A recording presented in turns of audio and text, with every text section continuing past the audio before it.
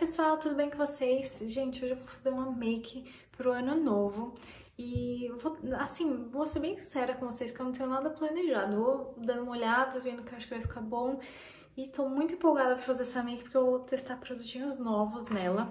Eu vou usar essa base aqui da Ruby Rose, que é a Natural Look, que faz muito tempo que eu queria testar. Vou fazer resenha dela depois, contando só da base, mas hoje vou usar pela primeira vez que ela tem um acabamento mais natural, menos mate do que aquela que a gente já conhece. Vou usar o pó da Boca Rosa, que muita gente fala dele também. Vou fazer resenha só dele. De todos os produtos, vou fazer resenha separada. Mas hoje eu vou testar pela primeira vez. Então, o pó e o corretivo da Boca Rosa também. Então, vamos ver o que vai sair daí. Vou tentar pensar em uma make que é mais minha cara, que vocês sabem que eu gosto de uma pele mais natural, uma make mais natural, com um olho poderoso, mas com a pele assim, tipo, nasci assim, só vou uma coisinha no olho, não sei ainda, vamos ver o que, que sai. Mas eu, a minha ideia inicial é fazer uma pele mais glow e caprichar um pouco mais nos olhos. Vou começar então passando esse primer aqui da Benefit Professional. Ele é bem bom, galera, eu gosto muito dele. Ele, ele dá uma boa é, disfarçada nos poros. Aliás, meninas, me mandem, comenta aqui embaixo primers que vocês querem que eu teste. Porque eu estou em busca de novos primers para fazer resenha e para conhecer mesmo. Então me contem, se vocês já ouviram falar de algum que vocês gostariam de saber se é bom e tal, deixa o um comentário aqui embaixo que eu vou procurar para testar. Vamos partir para a parte que eu estava mais curiosa, que é a base da Ruby Rose Natural Look. A minha cor é a Nude 2. Eu vou passar com a esponjinha úmida. Eu sempre falo pra vocês que a esponjinha úmida deixa um ar de um glow maior, assim, fica uma pele mais natural. Acho que a base meio que entra, tipo, entra mais na pele e fica mais parecendo que é, que é um aspecto natural, enfim. É isso aí. Ops, se eu abrir não se eu não abrir, não vai, né? Esqueci desse detalhe. Vocês são desastradas também? Eu sou muito desastrada. Eita. Não abri tão bem, não. Peraí. Vou pegar uma tesoura, que sabe quando não sai totalmente o lacre? Então, aconteceu isso.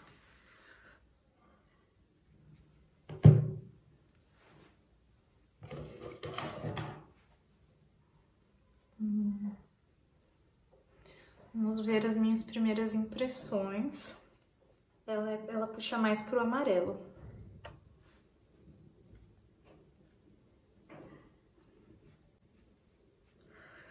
Minha primeira impressão é que ela é realmente bem menos mate do que aquela aquela outra da Vult, a antiga.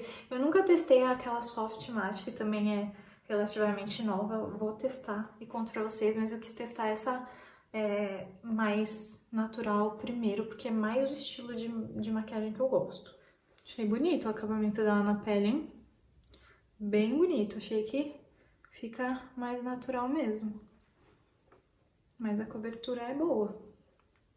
Deu uma disfarçada boa nas manchinhas. Achei que a cobertura é média.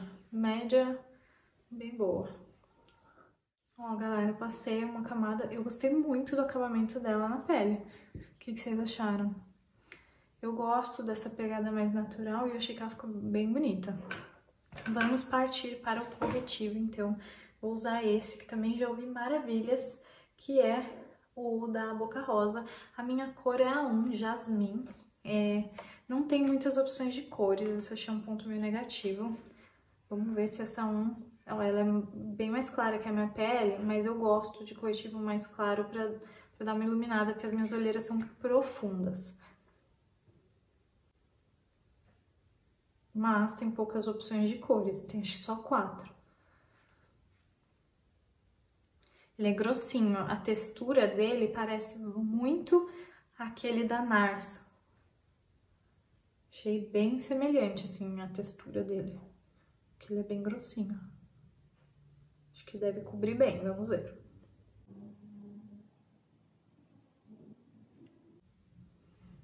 Achei que a cor ficou boa.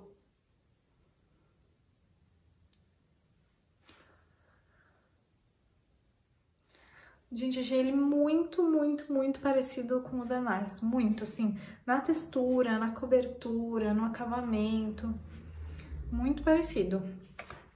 Vamos para outra, outro teste, que é esse pó, que eu já ouvi muitas maravilhas também sobre ele, que é muito bom, que, que é melhor do que vários pós é, bem mais caros, que ele que ele é ótimo, que ele até se assemelha àquele da Laura Mercier. Então, assim, tô curiosérrima.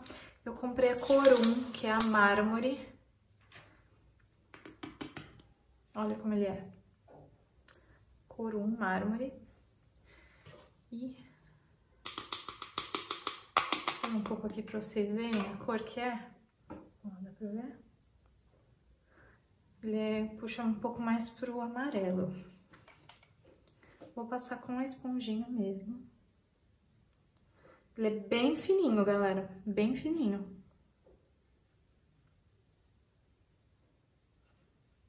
Olha.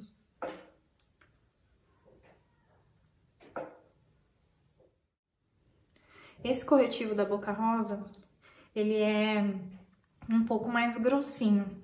Então, é, ele acaba eu acho que tipo da Nars, ele acaba marcando um pouco. Então talvez, para quem tem pele madura, não seja a melhor coisa do mundo, porque, ou pele muito seca.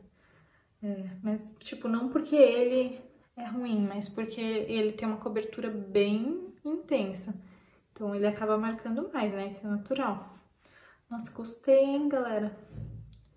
Gostei muito, gostei muito mesmo do pó do de tudo que eu testei, da base da Ruby Rose, do pó e do corretivo da Boca Rosa. Achei que a pele ficou com um acabamento super lindo. O que, que vocês acharam? Vão me contando aí embaixo o que, que vocês estão achando da, da maquiagem, as suas impressões, eu quero saber tudo. Agora eu vou pegar esse rula aqui da Benefits pra fazer o, o efeito bronzeado. E eu vou passar aqui pra fazer um contorninho. E vou trazer um pouco pra cá também, porque eu quero que fique uma pegada mais bronzeada mesmo. Sempre que vocês quiserem fazer uma, uma make com uma pegada bronzeada, passem o bronzer onde o sol bateria mesmo. Então, sempre nos lugares mais altos do rosto, na testa, nas maçãs, aqui nessa parte do nariz. Vou trazer um pouco do bronzer aqui pra cima, pras têmporas e também pra testa. Tá vendo como já dá um, um efeito de sol? Vou dar uma afinadinha aqui. Gente, tinha gravado toda a parte do iluminador e percebi que não estava gravando. Mereço. Então vou passar de novo mais um pouquinho por cima. É, tô usando esse aqui da Mary Kay, que é um iluminador líquido, então ajuda bem nessa pegada mais natural. E a cor Golden Horizon, que é um dourado bem lindo. E ele é bem pigmentado, duas gotinhas são suficientes. E por ser líquido, ele dá mais ainda essa sensação de glow. Uma minha sobrancelha usando a pastinha da Mari Maria, a minha cor é a Taupe. Tô viciada nessa pastinha, gente. Ela é muito boa. Já gostei muito da pele. Como eu gostei muito da pele, eu vou fazer uma make daquelas bem Pinterest, que é a pele, assim, uma pele glow com um olho só com cílios e um batomzão vermelho. Vamos assim, então? Depois vocês me contam se vocês gostaram da ideia. Eu, vamos ver se vai ficar bom. Não sei se vai ficar bom, mas a gente testa. Então, eu pegar primeiro uma máscara de cílios pra fazer a base.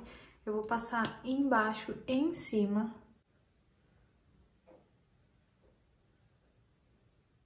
Os cílios que eu vou colocar, eu mostrei lá no Instagram que eu comprei essa caixinha enorme de cílios no Mercado Livre. E eu vou testar um desses dois. Deixa eu pensar. Tem um que é mais poderoso, mas eu vou usar esse aqui mais naturalzinho. Naturalzinho, pero não muito mais naturalzinho, vou usar esse aqui mais naturalzinho. Eu sempre gosto de cortar os cílios, porque me incomoda muito quando ele vem assim meio perto do canto do olho, meu olho começa a lacrimejar. Então eu vou medir mais ou menos e vou cortar aqui, ó, onde acaba o meu mesmo. Tá vendo que ela ainda tá meio branca? Acabei de passar. Ela é levemente azulada, mas ela ainda tá meio branca. Eu vou esperar ficar bem mais roxinha que isso pra, pra colar. Quero um vermelho bem vermelho, que fique bem poderoso, então eu vou usar esse batom líquido aqui da Sephora, que ele é um vermelho bem vivo, bem bonito. Vamos colar os cílios, então, olha como ele tá. Esse é o ponto que eu colo, que ele já tá meio transparente, um roxo mais escurinho. Bom, eu fiquei muito, muito, muito apegada a essa pele. Sendo bem sincera com vocês, eu gostei real, achei que ficou bem bonita. Gostei muito do acabamento desses três produtos que eu testei, o pó, o corretivo e a base. É...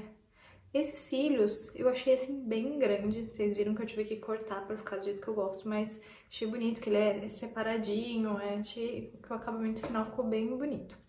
Então, eu particularmente gostei, mas eu sou suspeita, então quero muito a opinião de vocês. Bom, pessoal, então a minha make Pinterest ficou assim. Uma pele bem iluminada, assim, uma pegada mais bronzeada, é, sem sombra, sem delineador, só com cilhão e bocão vermelho. Então me conta aí embaixo nos comentários se você gostou, se você gosta desse estilo de maquiagem. Eu particularmente gosto bastante, é, é bem o estilo mesmo que eu gosto. Então eu quero saber o que vocês acham. Não esquece de deixar seu comentário, se inscrever no canal, isso me ajuda muito, faz com que vocês sempre saibam quando tem vídeo novo e sempre tem vídeo novo. Agora em janeiro eu tô com um planejamento para ter mais vídeos por semana, então me conta aí se você também quer mais vídeos por semana. E espero que vocês tenham gostado, beleza?